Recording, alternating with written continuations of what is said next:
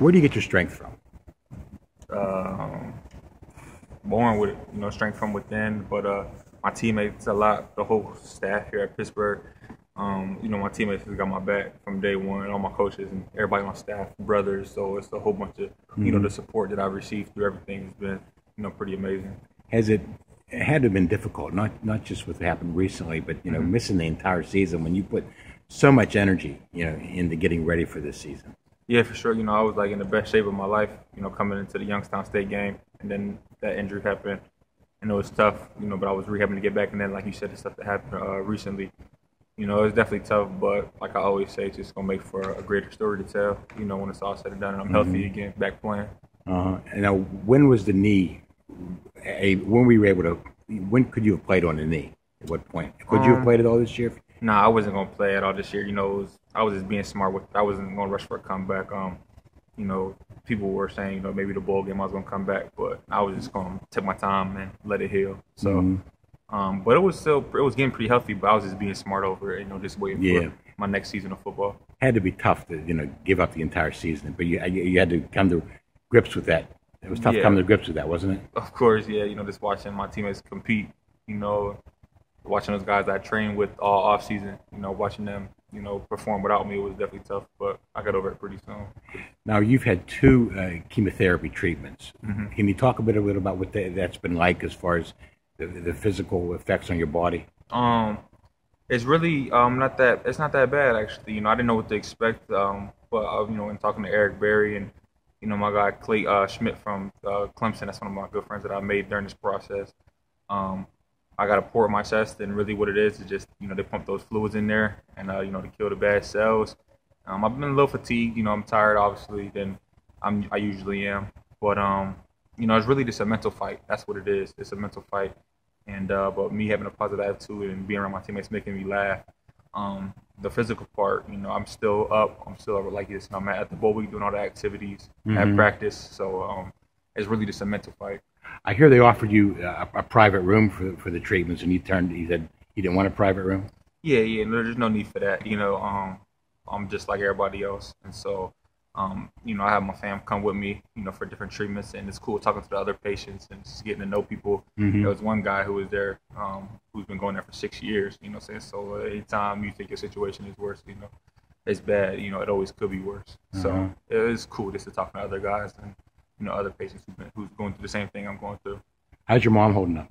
She's good now. Obviously, it was tough when she first heard the news, but uh, right now she's she's fine. hmm she go with you to the to the uh, treatments? hmm She went back with me. My brother made it back uh, from Florida. He was home for the holidays, and my last treatment was the 22nd. Um, and so he was he got to come with there, and you know he likes that kind of. Let's just see you know the experience and going through it with me. He likes being there. Grandparents came up. Dad is going to come up to the next one. So Jeez. yeah, people are all Good. You know, helping me out. That was Tuesday, right? hmm Now, Well, Monday, Monday. Actually. Monday. No, you have you felt any other than being tired? Have you felt any other effects? Uh, stomach aches, you know, a little nausea. I haven't, you know, threw up or anything yet. Um, some people say as it, I'm only done two. I got ten more to go. You know, hopefully that's the plan. That's the schedule. Um, you know, some people say it gets worse as you continue doing them, but everybody's body different. You know, and I Right. look at myself as young and healthy, so um, hopefully I just breeze through. You know, um, with the physical part and just um, you know, take the mental part. Uh, you know, with all my with help from the teammates. And, and when's your next one? Uh, January fourth. Okay. Every two weeks. Every two weeks months. you do it. Yeah, for six months. And uh, now I, I was talking to, in fact, Coach Narduzzi said the other day on the radio that the tumors are Mhm. starting to shrink. Yeah, excellent doctor, and Dr. Marks. And um, the tumor was first 14 centimeters. Uh, said it shrunk to estimate about 11. Which one? The one in your chest? Yeah, the one in the chest. Um, the neck, the ones in my neck, uh, went down too. And so, um, you know, that's great news that you know the medicine and, and is working. And so, uh, hopefully, every every treatment it just goes down a little bit more. And so, uh, I found myself having a little bit more energy with, um, you know, taking that pressure off the vein that carries blood to the heart. Um, you know, pressure is coming out there, so the blood flow is running smoother. My Uh-huh. face is still a little swelled up. You know, I'm, I'm pale and Uh-huh. stuff now, I'm ugly, Uh-huh. but um, I'm getting healthier as the treatments go on. Uh-huh. Uh, now, Dr. Marks had said at the news conference that you will play next season. Mhm. Um, how how do you feel about that? It means everything. You know, there's we got some great games, and just, I'm just looking forward to the time we I can spend with other teammates. You know, of because I know a couple people in the NFL, and you know, if you really sit down and think about it, there's, you know, you're going to a city where, you know, you don't know nobody, you know, a city you maybe never been. Um, but I'm just excited to come back and, you know, take Heinz with Panther Pit and, mm-hmm. you know, just great fans of Heinz and all my teammates who, like I said, I go to war with every day and I've, I made lifelong friendships with. So I'm just crazy excited for that.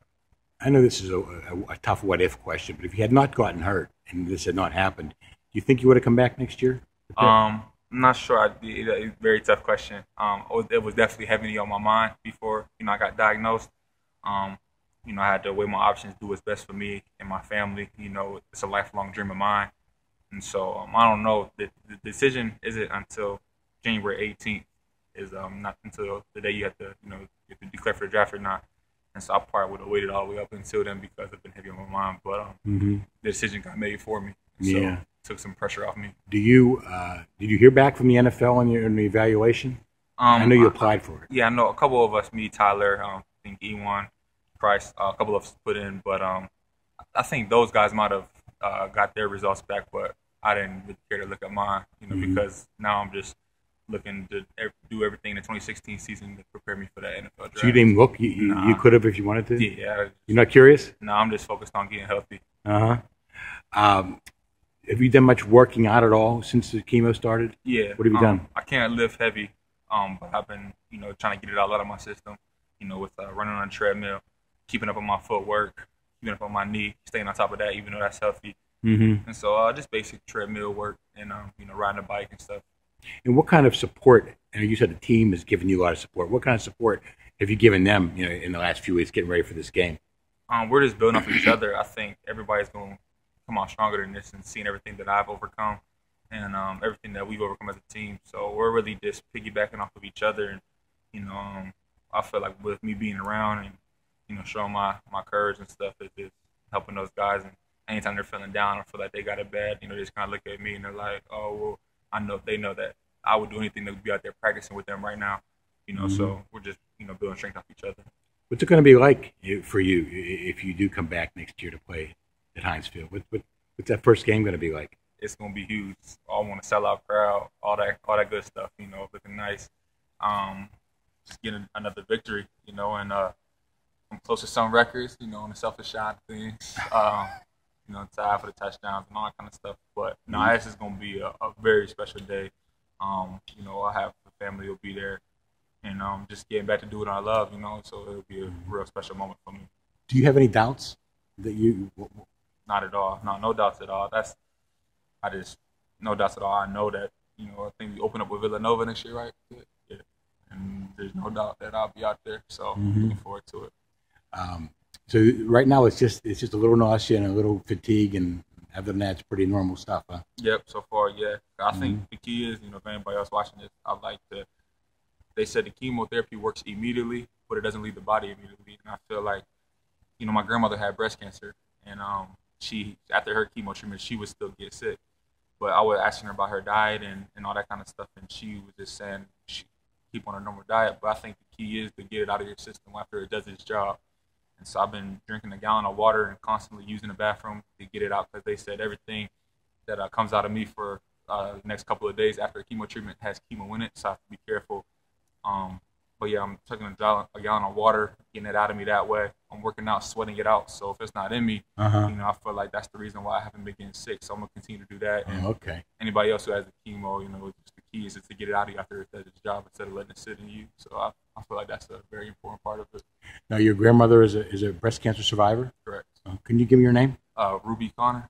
And grandma Ruby. Are you BY? Yes, mm-hmm. on my uh, on my dad's side of the family, mm-hmm. and um, yeah, she lost her hair, she got a haircut, and all that kind of stuff. She she's been telling me the whole process of things, and mm-hmm. I think she had four chemo treatments and uh, radiation for like 35 days, and so she's tough. So I'll also get my strength from her. Is she done with it now? Yeah, she's done. Oh, it. She's, hair came back, and she's up cooking, cooking Christmas dinner, all that good stuff. Really? So, yep. Good. She cooked for you this Christmas? Uh, she she probably made a plate for me, but I wasn't there. I was still here down here. you haven't lost any hair? Mm-mm. I got a haircut, but no, I still still going strong. How do you feel about the game uh, Monday? What do you? What do you? What... Excited. Um, mm-hmm. Excited. Very excited to watch them boys compete. That's been the best thing, you know, because when you're out there playing, you're just focused on your job and trying to do your job correct. Um, but me, when not playing this year, I've been able to sit back and really just focus and watch individual guys. Very proud of Qadree. You know the way he stepped up. Like Mhm. you know, I was talking to him coming into the season. Obviously, with me being the reigning ACC Player of the Year, you know, it's it's it's, it's normal for him to not expect that many carries in the game, and then for him to come in and be ready and you know have the performance he did and had the season he did. Very proud of him. So I got to sit back and watch him. So that's been the fun part. And so Monday we got a great team in Navy. Um, it's gonna be a fun game. Uh, when did you decide to come down here? Um, Was it you, you always you always had plans Yeah. to come here? Oh yeah, for sure. Because I knew that my I know we were leaving the 23rd, and my treatment was the 21st. And so I'm like, oh, perfect. That gives me two days to you know kind of recover and come down with the team. So, um, I, yeah, I didn't never thought I was gonna miss this trip. Who was your friend in, Clemson? You, you said that uh, His name's Clate Schmidt. He's uh he's a Hodgkin's lymphoma. Uh, he's on the football team. no, he's a pitcher. He plays- Baseball. Yeah, he reached out to me through uh, Instagram, and um, and he's like, bro, I would love to talk to you and tell you what to expect. And I was very cool because he didn't have to do that, you know. Mm-hmm. So you never met him before? No, I never met him before, but we Mhm. talk almost every day on the phone too. Oh yeah. Yeah, so he's a senior pitcher at Clemson University. Oh, okay. 32, so that's So my you, guy now. you've reached out. A lot of people have reached out to you. Who Oh, who's yeah. reached out to you besides Eric Berry and that guy and and Schmidt? Oh, I, the list goes on. There's a number of you know people who, you know, all other football, you know, college athletes from every school, um, other professionals. You? Antonio Brown, yeah, all, all those guys. You know, just it's been there's way You, too you just speak to Lemieux. Yeah, Mario Lemieux, um, Merle Hodge, all those guys that have reached out. So Mhm. yeah, What an experience, huh? mhm. Yeah. You think you'll be stronger for it by when it's all said and done? yeah, of course, it's look at life different. James, Thank you. thank you. Um, I wish you all the great all the luck.